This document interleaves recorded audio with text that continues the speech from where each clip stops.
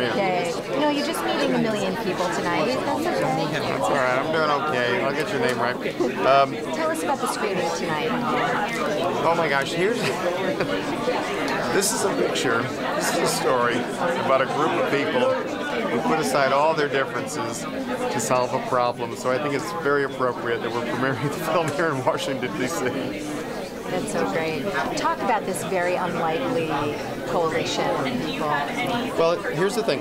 You have people who, I mean, the strangest bedfellows, the most unlikely collaborators. You've got Big Oil, you've got Greenpeace, you've got uh, the, the you know native uh, native Alaskan whale hunters, you've got uh, National Guardsmen, you have the U.S. government and the Soviet government, people who you know would on in a different situation would never talk to each other, and they all figure out how to kind of get out of their own way in order to accomplish this rather Herculean task.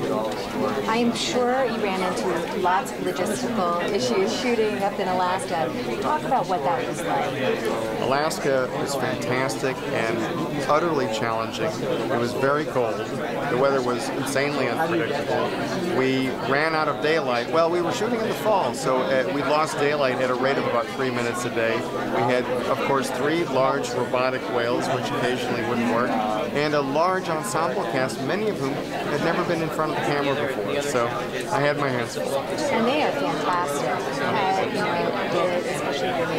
Oh, I fought Bring the Picture to Alaska in large part because of the people. The people of the North Slope, the, Inupiat people, you can't find them anywhere except Alaska. And and. And, and we have to talk about John Krasinski and Drew Barrymore.